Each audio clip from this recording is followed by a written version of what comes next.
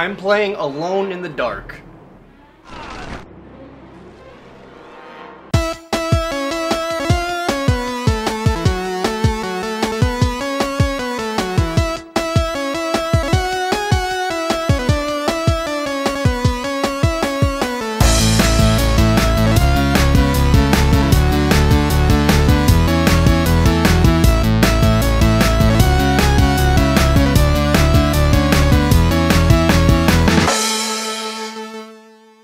Alone in the Dark, released in 2008, is a reboot of the iconic franchise.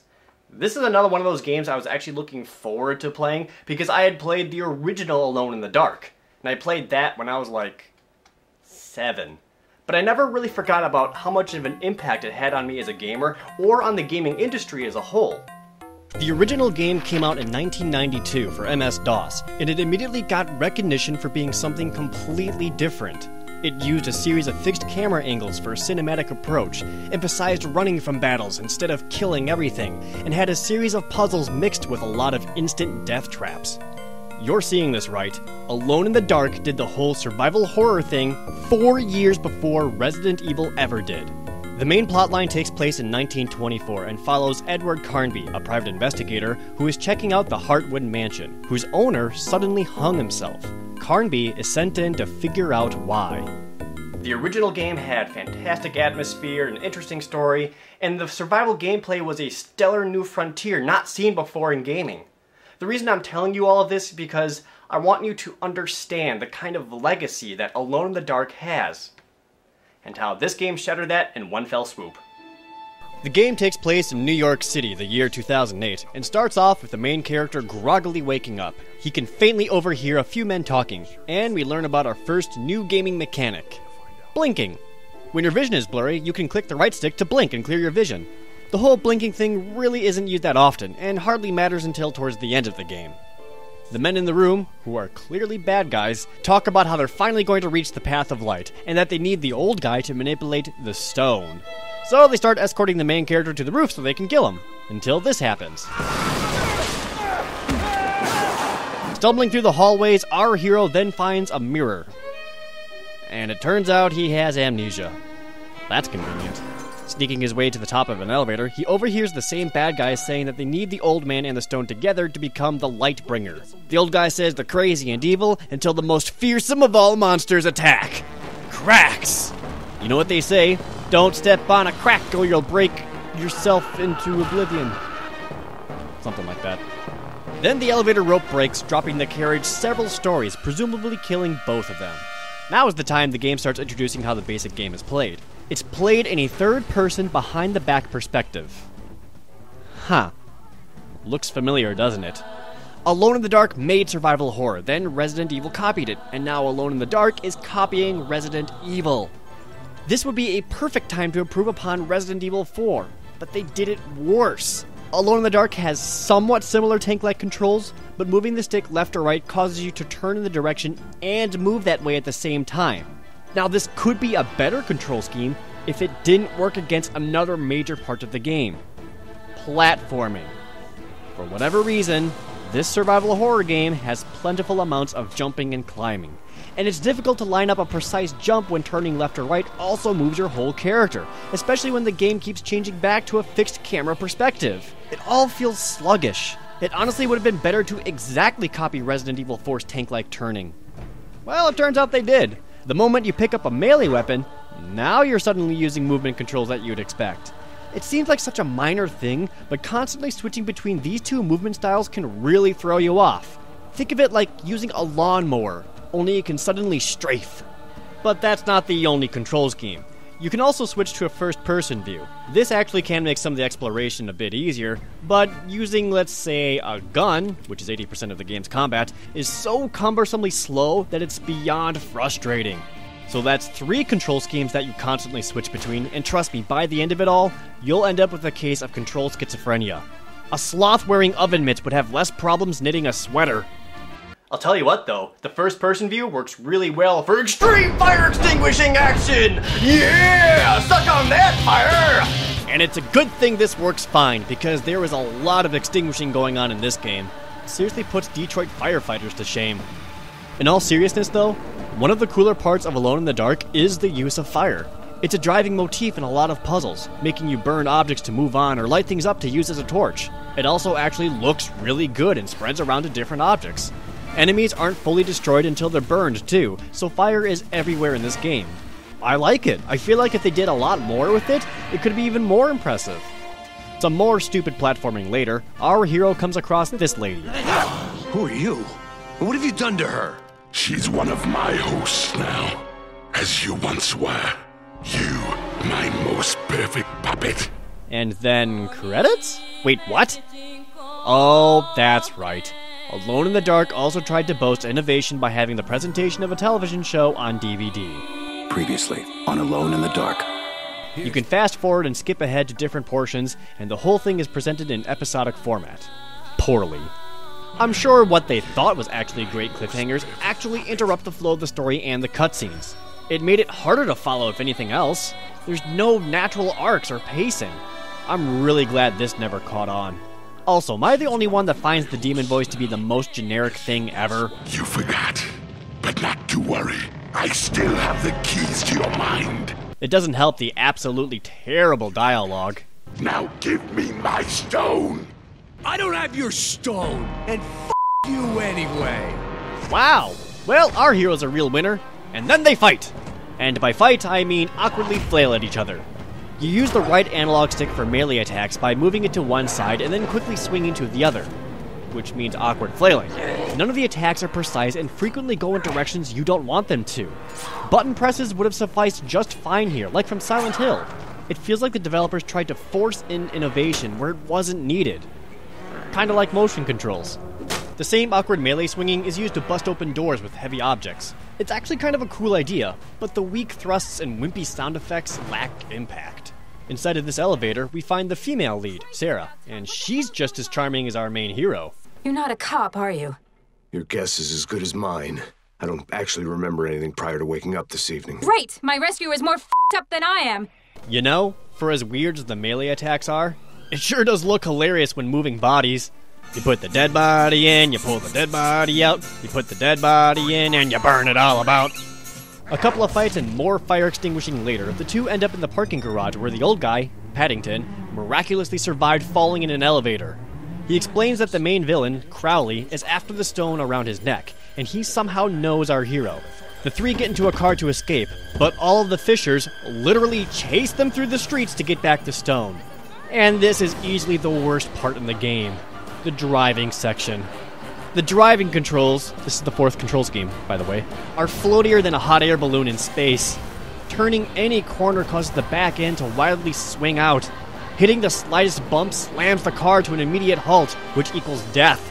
The whole section only takes about two minutes to get through, but it's so broken that it took me over 20 minutes to actually get past it. And towards the end, you drive up the steps in the top of a toppled building and jump out a window, which made me fall through the world.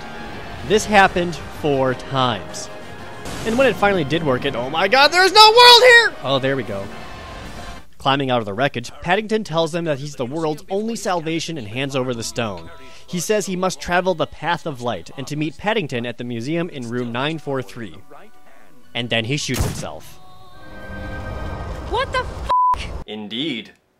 Turns out the hero has a really bad cut and will bleed to death if it isn't taken care of, which is another game mechanic. If you get a seriously bad injury, you have to find bandages and wrap it up, or you'll bleed out and die in 7 minutes. Which is okay in theory, but it happens very infrequently. As such, you'll never have bandages on hand, and they're difficult to find. So when you do get an injury, you're boned. Speaking of injuries, your health is displayed as wounds all over your body. Again, good idea on paper, but not in its execution. First off, this doesn't tell me how hurt I am. I only know I'm close to death when the game switches to grayscale. Second, it just looks bad. Rather than adjusting the character model or the textures, they literally put patches of hurt skin on top of it. And it's painfully obvious, as it looks like chunk of flesh is hanging out on top of the jacket or pants. In fact, in some cutscenes, they literally hang off the character model. So to heal his injuries, we need to get to an ambulance, where we are greeted to another game feature. Open world exploration in all of Central Park. And I use the word exploration loosely because there's nothing to find! The whole park is barren! No secrets, no extra weapons or hidden items. It's just a thing because it's a thing that other games do. There's only one real reason for it, and I'll get to that later. I get to the spot where the ambulance is supposed to be, and it thankfully pops into existence. There, a doctor patches him up, and he starts to remember a little about his past. Full name, please.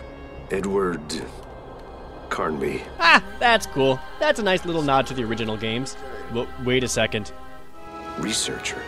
Paranormal investigator, huh? Solved the case of Jeremy Hartwood's suicide at Derceto Manor in 1924. Disappeared under strange circumstances in 1938. What?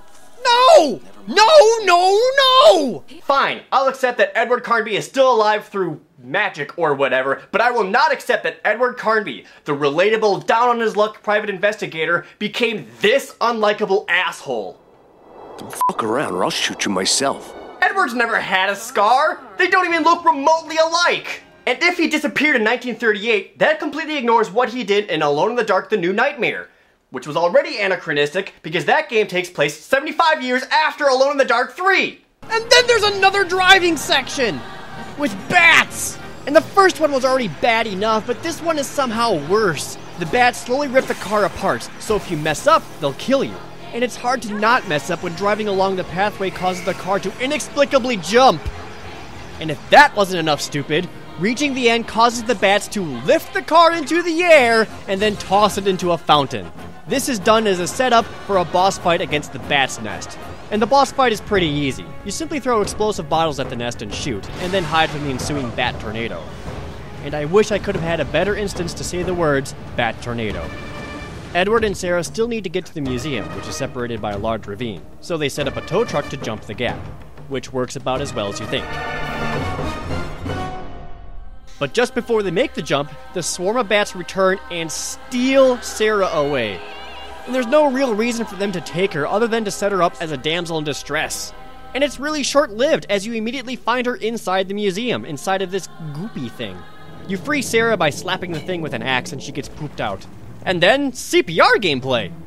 Damn, dude! I'm no lifeguard, but I think that may be a little too much pressure. Maybe I should take notes though, because apparently fracturing a rib means making her fall in love with you. Running through the instantly changing museum brings up another boss fight. It's another fight where you throw flammable bottles at the enemy and then shoot it so it explodes, and then you hide until you can do it again. It's a bit better than the Bat Tornado, at least. Check out this puzzle. In order to destroy the nest spawning spiders, you need to stick an explosive on a spider so it goes back to the nest. This is another decent mechanic of Alone in the Dark. Edward's inventory is entirely in his jacket, and you look down and look at your pockets. You can combine a bunch of items for new effects, like putting flammable liquid on your bullets for fire bullets, or putting a cloth in a bottle to make a Molotov cocktail. There are two problems with this, though. One, this isn't a pause, so quickly trying to make more fire bullets in the middle of a fight gets cumbersome and enemies will still attack you. Two, you have very, very limited inventory size. Between picking up bullets or a bandage, I always go with bullets, and then I end up bleeding to death. In order to move on, the gate can only be opened by the handprint of the security guards, but all the guards in the museum are dead. Don't worry, I've got just the thing.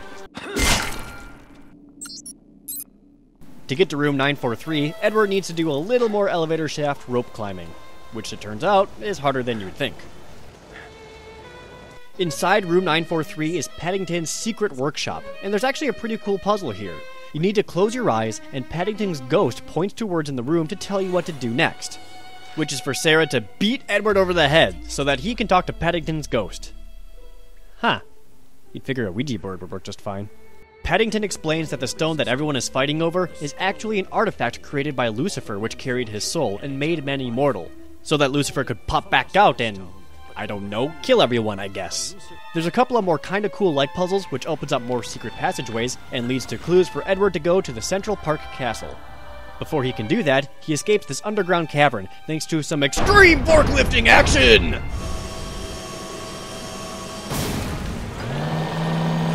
Back in Central Park, you light up a thing to light up another thing to show you need to go to the castle. Edward can't actually get into the castle because it's surrounded by a massive shield. The only way past the shield is to increase Edward's spectral vision, which is done by burning evil roots found around the park. And you don't just burn a couple, You need to get a total vision rating of 75, and each root gives you about 2 to 3 vision rating. This is known as padding. It serves no other purpose than to artificially extend the length of the game. And the roots are the only reason that the open exploration of Central Park even exists. Both are unnecessary, and the game as a whole would have benefited greatly if it just kept the linear progression. And down, deep inside the castle, Edward finds the secret to ending the whole catastrophe. This guy. His name is Hermes, and Sarah calls Edward to let him know that he's only got a few minutes to get Hermes back to Paddington's secret room. Which means another driving section. For whatever reason, this one has a time limit, but it's completely superficial because the time keeps increasing as you drive along. I'm sure it was meant to add tension, but I ended up ignoring it completely. Back at the museum, there is one last boss fight, and it's against Crowley, the jerk that's been the cause of all of this. He has taken Sarah hostage and threatens to kill her unless Edward hands over the stone. Edward is put into a tight situation, and unless he. Or that works! Hermes uses his self to open up another secret passage, which goes to a large portal like thing. There, Hermes puts his half of the stone down and instructs Edward to do the same. This allows Lucifer to return to the stone, and Edward takes it to do a soul battle with him. But then Sarah says he doesn't have to do it alone, and then grabs the stone. Lucifer starts taking over her soul, and then collapses to the ground. Edward embraces her, and she asks if he loves her. He says yes, and then this happens. What will you do now? Kill me? Feel to be so alone? I'm used to it. That's the good ending. I actually prefer the bad ending, because you get to do this.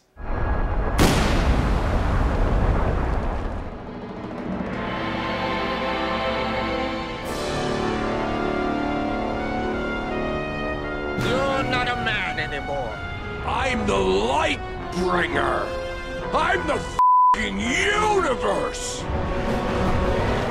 Did you think I'd come alone?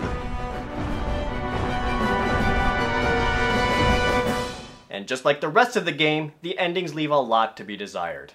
There is a lot to this game. Like, too much. That's why my final rating for this game is too much candy out of 10. There's actually a lot of potential throughout all of Alone in the Dark. They had a lot of good ideas and a lot of different ideas. In fact, they had too many. The developers tried to put in so many things that the whole project suffered. I like the use of fire, the item combination is cool, some of the puzzles are neat, and the soundtrack is pretty good. But the open world, patch like injuries, evil roots, and multiple endings were all unnecessary.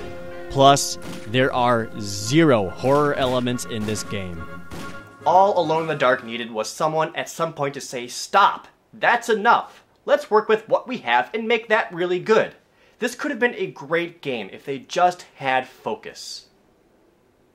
They also needed about 80 more bug testers.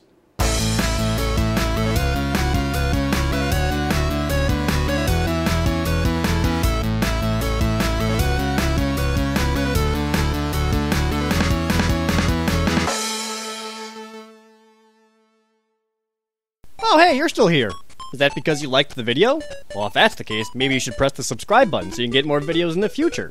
Or, since you've clearly got some free time, why not watch some more? There's the secret island of Dr. Quandary right over there. Give that one a nice little recommendation. You can watch that whenever you want, really. Or, right over here, we got something a little different. It's a one minute review of the XCOM game that just came out. So, you know, you can click on either one of these if you're so inclined. Or you can go away. But don't forget about me. I won't forget about you.